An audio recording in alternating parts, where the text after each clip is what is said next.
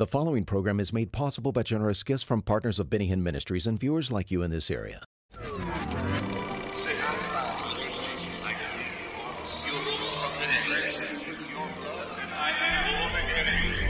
Pastor Benny Hinn is urgently preaching the gospel to the lost because the world's only hope is salvation through God's only Son, Jesus Christ. The gift of God is life eternal. This is your day to join Benny Hinn in proclaiming Jesus as Savior and Healer. Today, I want to have a heart to heart talk with you as my partner. And I pray what I will share will truly lift your faith to the heavens. You know, the Lord has done some amazing things with me, and I want to just talk to you about it because I really believe that your faith is going to come alive and you're going to believe God for miracles you've never believed God for before. You know, if I look at these prayer requests here today, the number one need is finances. Number one that people pray for is pray for my finances. The second need is family. And the third is physical healing. Now, that's the order that we've noticed for 40 years of ministry now almost. That the number one need in people's lives is finances because finances touch 90% of our lives. Now, the Lord has done something amazing for me and Suzanne in the last few months that has just been really supernatural. And I have, I have learned some new keys that I want to share with you because I really believe, as my partner and one who has stood with me in ministry, you need to hear this because it's going to encourage you to believe God for yourself. Because when God begins to do it uh, in someone like myself, in my life, I think you know it sparks faith in people that hear it.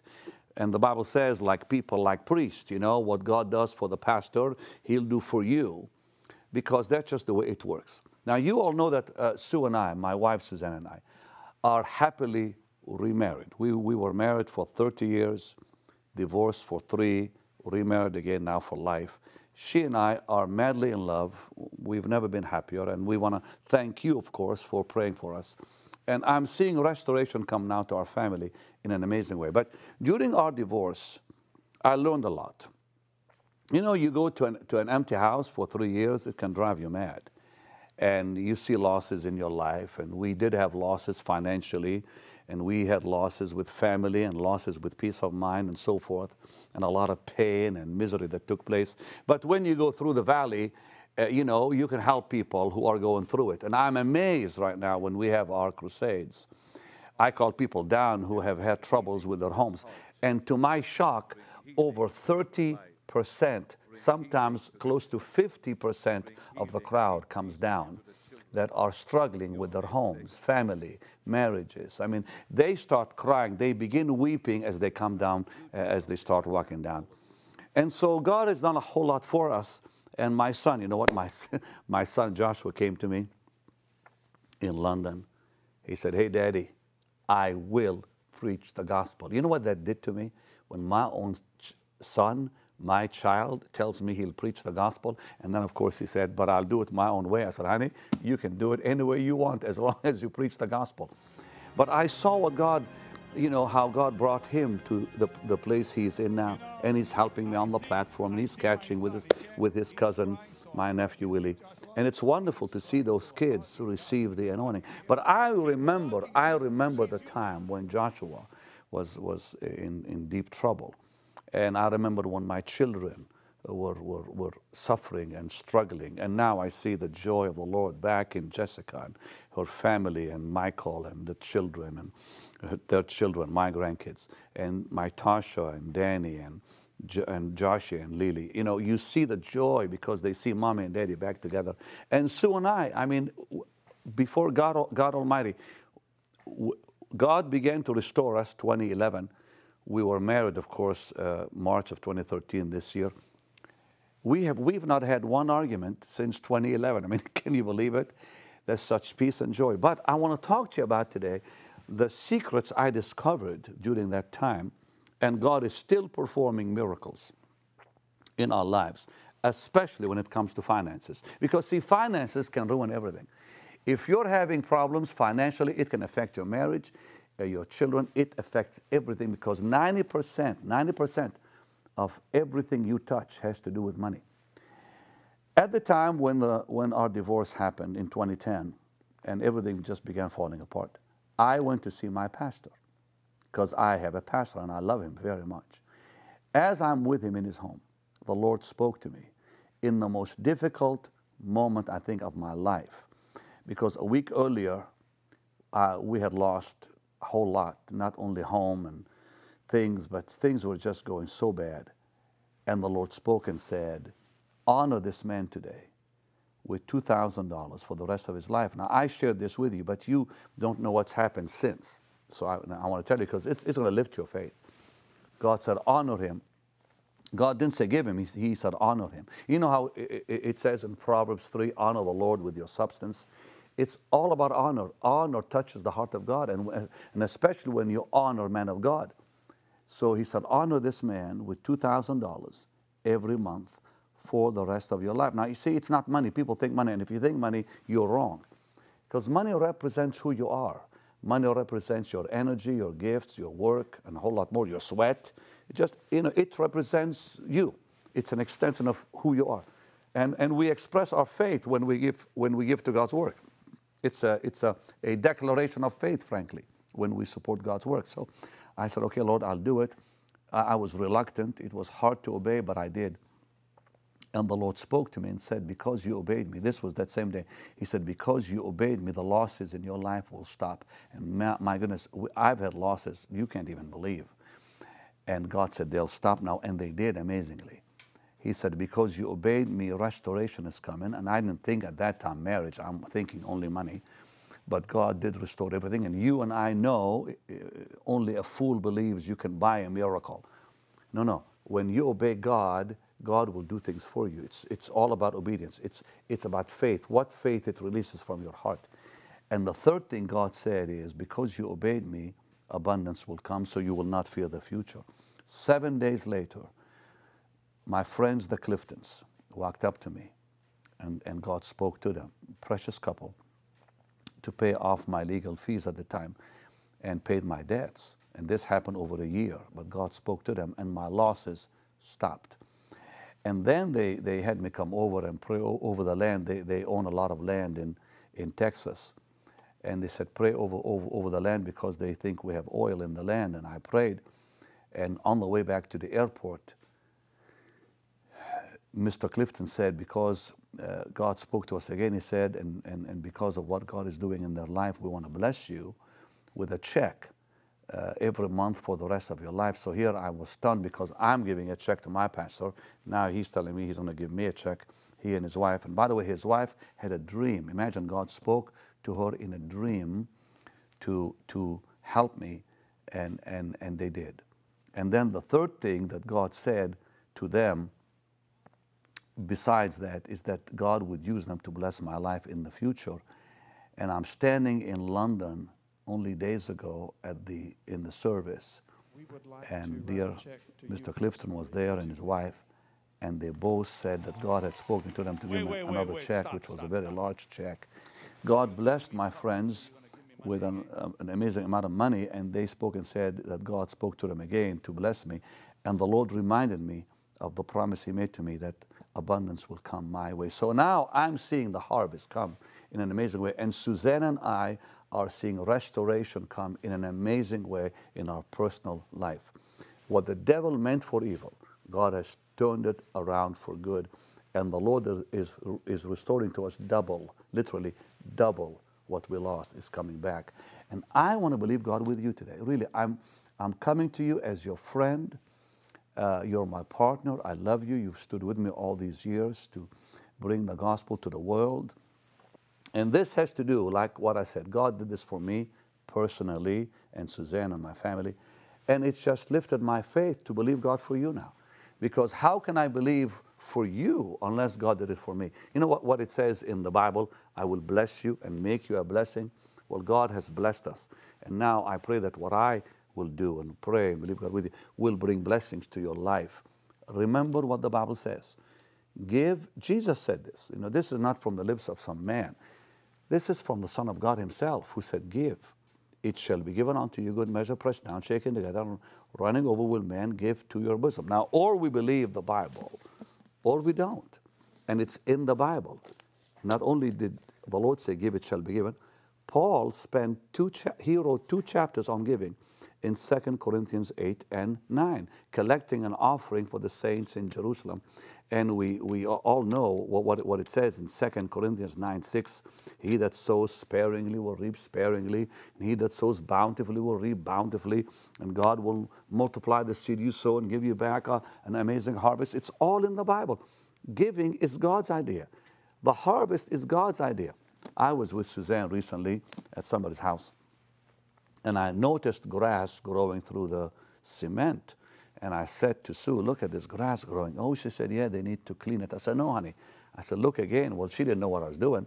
I said, Look at this grass growing through the cement. So she looked and she said, Well, so? I said, That shows you how powerful the seed is. The seed under that cement is more powerful than the cement, that the grass can break through the cement. And the Lord really spoke to me through this and said, No satanic cement will ever stop the harvest from coming. When you sow seed, the devil may throw cement over it, but it will not stop the harvest. God Almighty has placed amazing power in seed. Now, listen, when you spend your money in the store, you exchange it for something you're buying. When you give it to God, it turns into seed and, and will produce a harvest. Therefore, your seed never leaves your life, it goes into your future. And so, giving to the Lord is in the Bible. The Bible is full of examples of sowing and reaping. You think about, you know, uh, uh, in Genesis 26, where Isaac sowed in famine, think about famine, and reaped a hundredfold. David gave and received. Solomon gave and received. Jacob made a, made a vow to God and, and said, If you bring me back home, when he was on his way to Laban's house, he said, I'll give you back 10% of everything I touch. And so the Word of God is full of examples of giving to God and receiving a great harvest. God wants to bless you. And today, I want to believe God with you for three things that your losses will stop. I'm telling you, it's happened to me. It will happen to you. I'm going to believe God with you for total restoration to come your way, financially and with everything else too. It's going to happen, I promise you. And number three, abundance.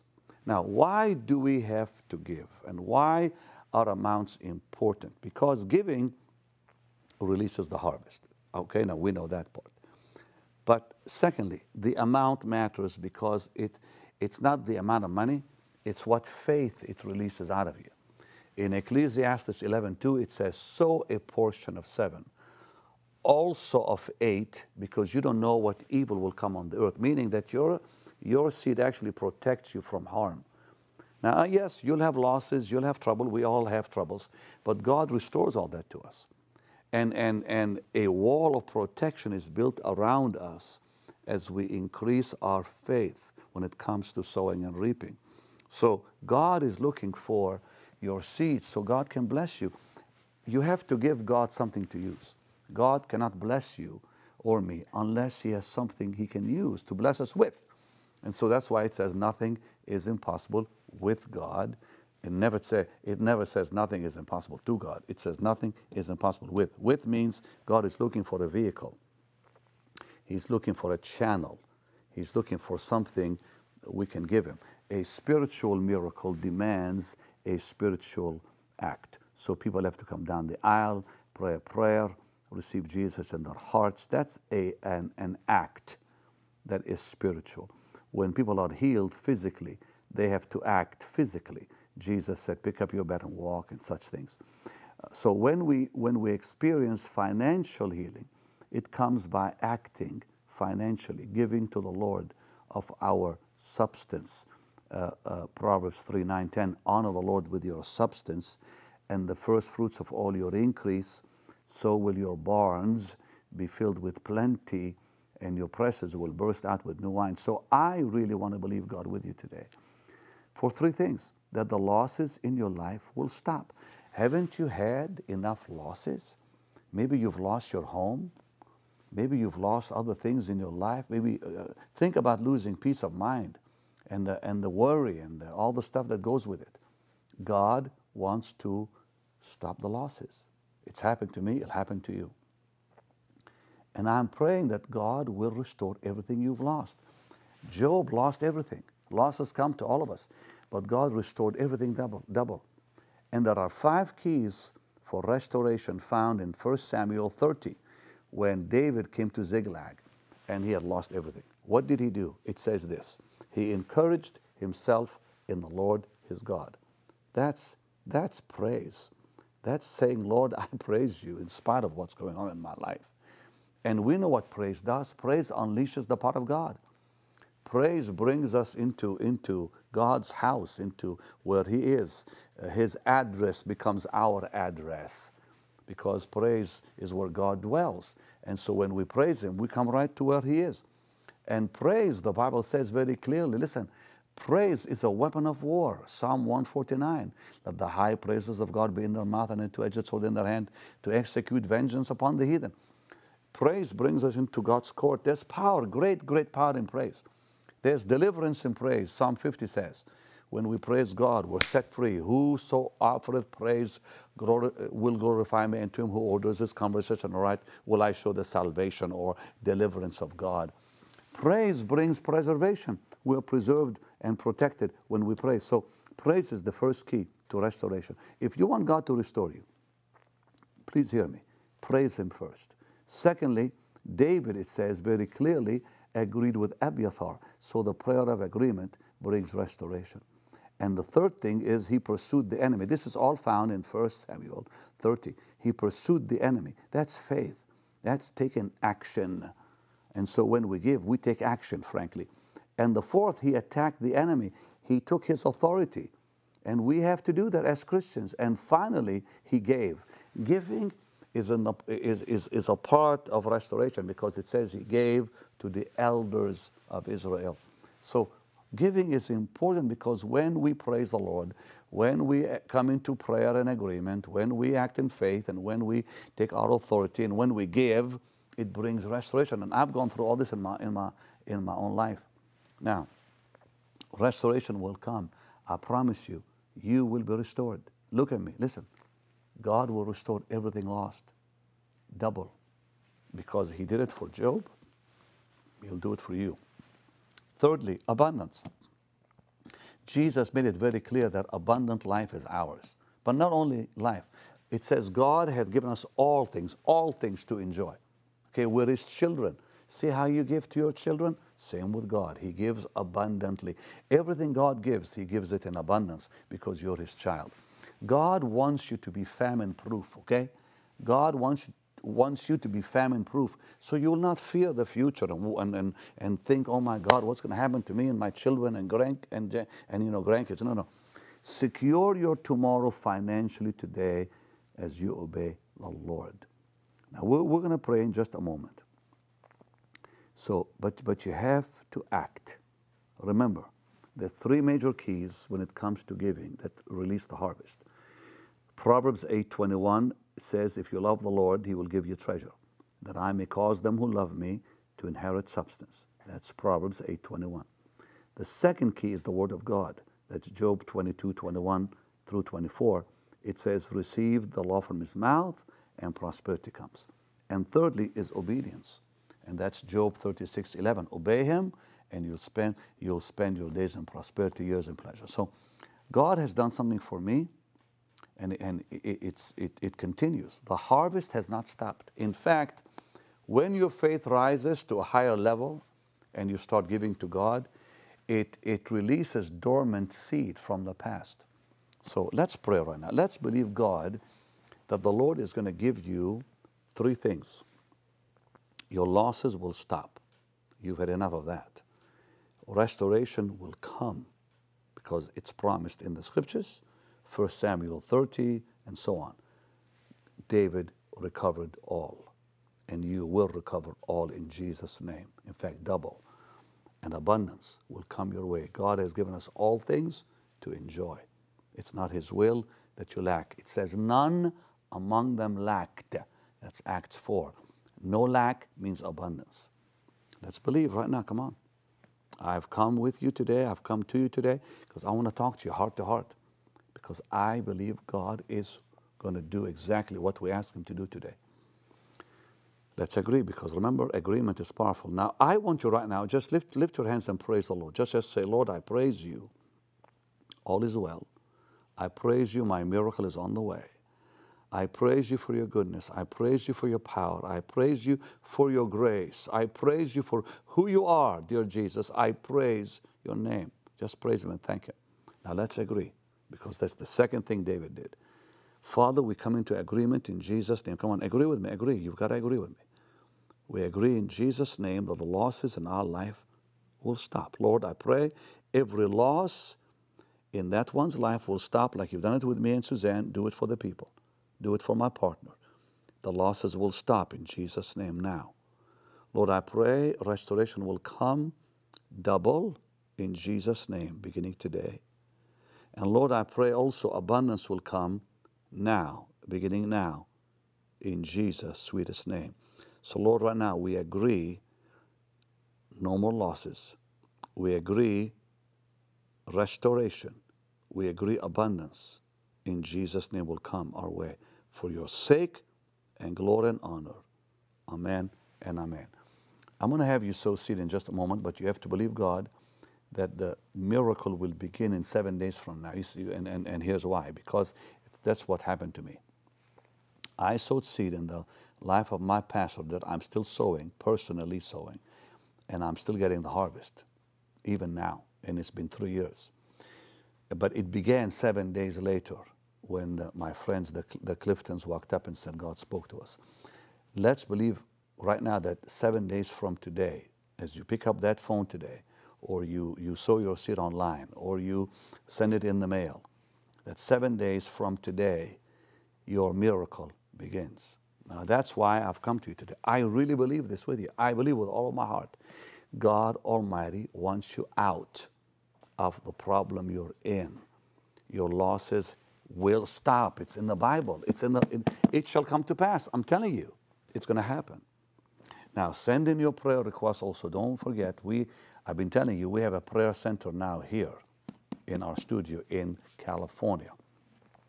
People are praying for your needs 24 hours a day. We opened it just about, no goodness, three weeks ago. Uh, the presence and power of God is so strong around that, that room. Every time I walk by, you can feel it. And there are people praying for your needs 24 hours a day. So send your prayer request and trust God. He will meet your needs. But now, get to the phones. Go to, go to the phones quickly or, or online. But if you're calling, just tell the people who, who answer that you're believing God that seven days from today, your miracle will happen.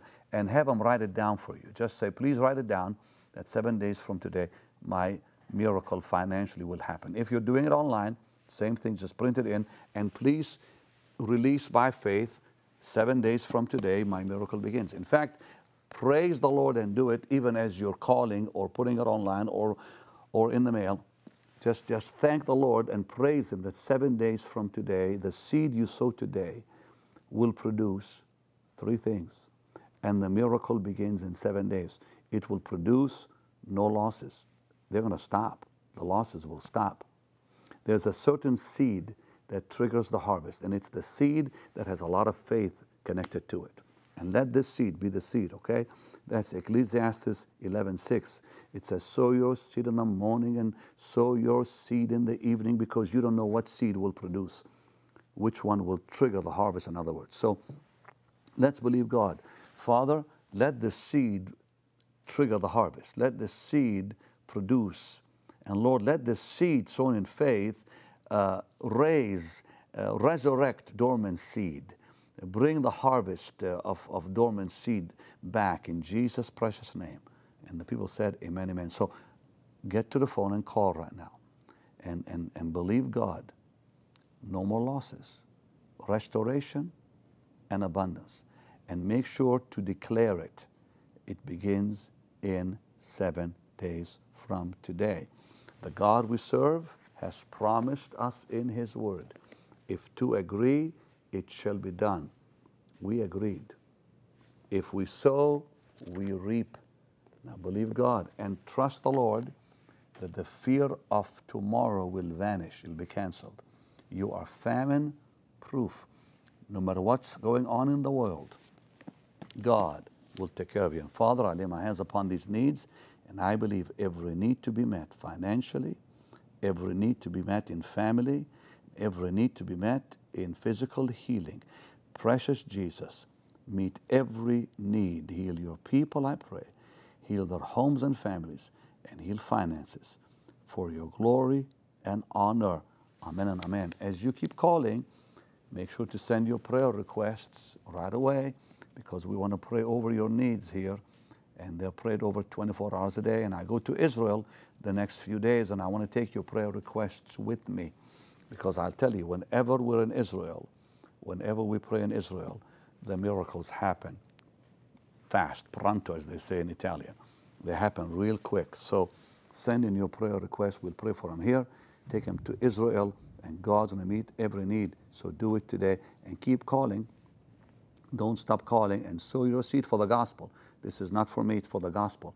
The gospel of Jesus Christ. It's used purely for the gospel to be preached around the world through television, meetings, crusades, conferences we're doing around the world. Yeah, I'm on my way to Buenos Aires soon in India and China. It's going to be fantastic. And what you sow is going to win the lost. But watch what God will do for you. No more losses. Remember, restoration and abundance is coming your way. In Jesus' name, amen. We believe that the gospel of Jesus Christ is the answer to humanity and the troubles on this earth the gospel, the gospel, and only the gospel is the solution. Pastor Benny Hinn is passionate about reaching the lost by obeying the mandate for all believers to go into all the world and preach the gospel. I'm talking about souls. Save my soul. Men and women around the world who have not heard the gospel. It's our duty, our privilege, our responsibility to tell them. Who else will? Nobody will. You can help touch millions around the world as you catch Pastor Benny's vision to use every available resource and opportunity to reach the lost. How can we preach the gospel without support?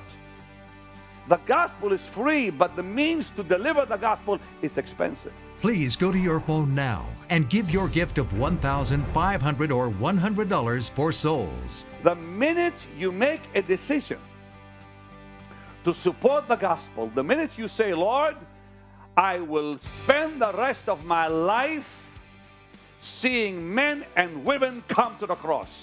When you make that decision, God Almighty will bless everything you do in life. Call now or give online. Thank you for catching Pastor Benny's vision and sharing his passion to see the lost saved. Jesus came to give his life for men and women. And for me, and for you, to have the privilege to tell the world? Awesome.